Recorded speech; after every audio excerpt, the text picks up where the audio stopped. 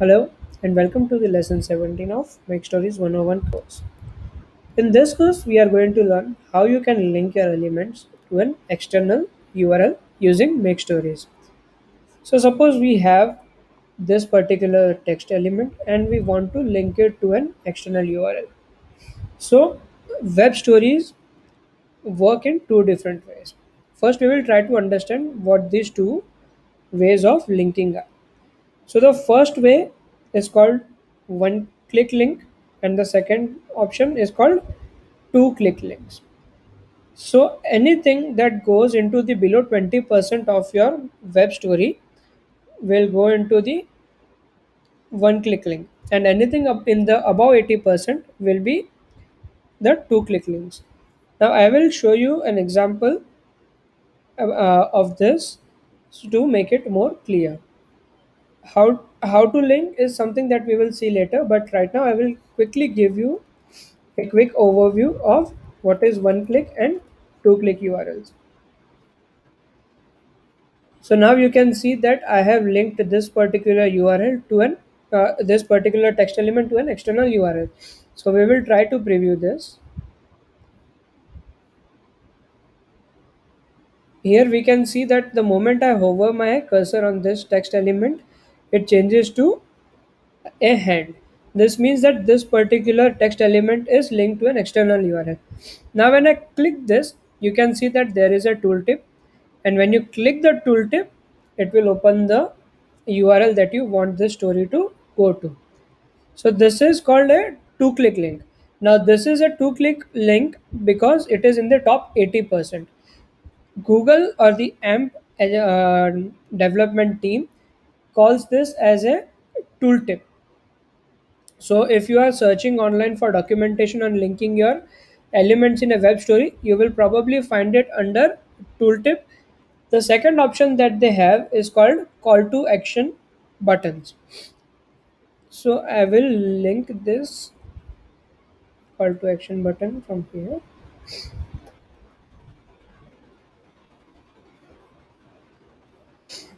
Now you can see that this particular call to action button is in the bottom 20%.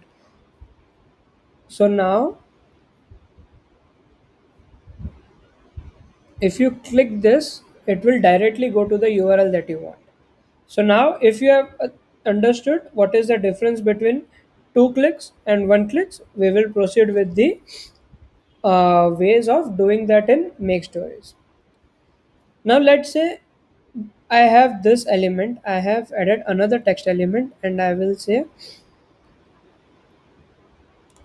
visit www.youtube.com and I will center align this. Now all I want to do is whenever someone clicks this, I want them to go to YouTube. Now since now depending on where you want this text, you will be uh, keeping it as a two click link or a one click link. So now since this particular uh, text element is in the top 80%, it will be a two click link. Now, to make it easier for our users, what we have did is irrespective of where you place the uh, text element or any element in the uh, make stories canvas, we will automatically change it to two click or one click. So right now we can see that this particular uh, text element is in the top 80%.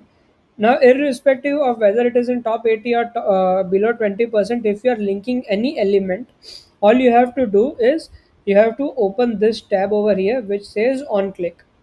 Here you will find an option that says open link, and here you will enter the URL that you want this to be linked. Now I will write visit youtube.com.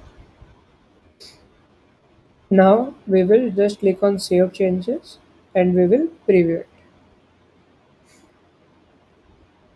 Now when I click this, you can see that there is this favicon. Uh, make stories automatically fetches this favicon from the website if it is there. If it's not there, then you will have to uh, enter select the uh, icon. So suppose I and you to select that, you will have to click this thumbnail and the media library will open and you have to select the icon that you want and you can use that Now what we will do is we will drag this element into the bottom 20%. Now if you want to understand what is the where does the bottom 20% start from, in that case I will say that our canvas size is 600 pixels. So 600 pixels into 20% which is 120 pixels. So we will deduct 120 pixels from 600 which comes to 480 pixels. So somewhere over here we have 480 pixels.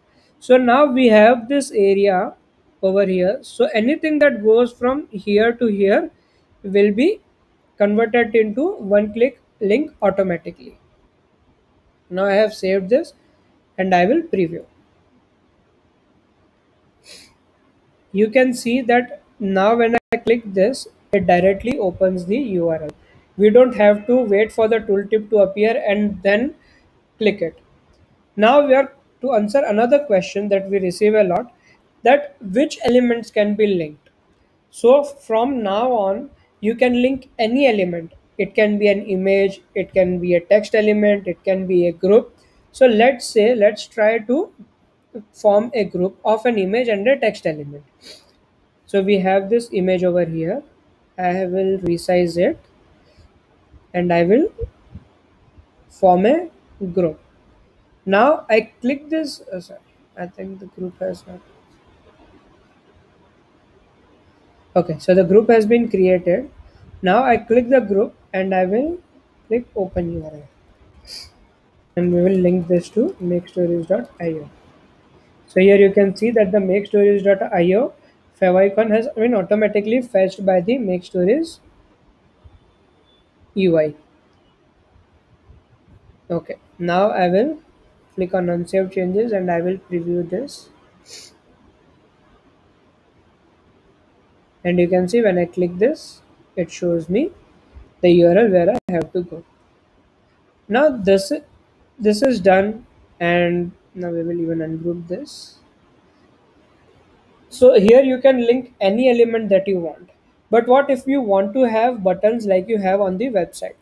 To do that, you have to go into the layers tab and over there you will find an option that says add call to action or CTA button. You you will click this and here you will be having an option that says click here. So this is a predefined button that Make Stories adds it in the UI for you. Now I will write here. Now you can edit this by clicking, double clicking this and writing. I will say visit www.makestories.io. Okay, so I will write here makestories.io and then we have two options in the right that is said CTA settings and the another one that says CTA designs. We will first in, look into CTA designs. So here we have various CTA actions that are pre-built. So you can use one of these buttons or if you want to change the appearance then you can go into the appearance tag and you can change the colors as you wish. This is the color for the text and the name here the background as the name suggests is for changing the background of your call to action button again you can control the radius border radius using the border radius element. You can change this to 30 pixels to make it circular. And then you can add border and you can do all you can apply all these options. Now the another option that you have is the cta settings. So suppose if you have added a call to action button and now you want to link it. A good thing about the call to action button is that you have two options. You can link to an external URL. If you want to do that, all you have to do is you have to enter the link of the website in this particular text box. Okay? And it will link to that particular URL. Now suppose if you want to do an interlinking. So let's say our web story has nine slides. Now what I want to do is whenever someone clicks on this, I want to take them to visit slide 7 okay? And then I, over here I will select the option of slide 7 and I will save this. Now when you preview this, you will see that it says slide 7 and when I click on this, it takes me to the slide 7. Good thing about this is that now when you will click back, it won't go to slide 6. It will go to slide number 3 from where the user was taken.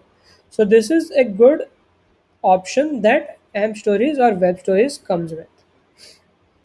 So these are the ways you can link your element to an external URL inside Make Stories.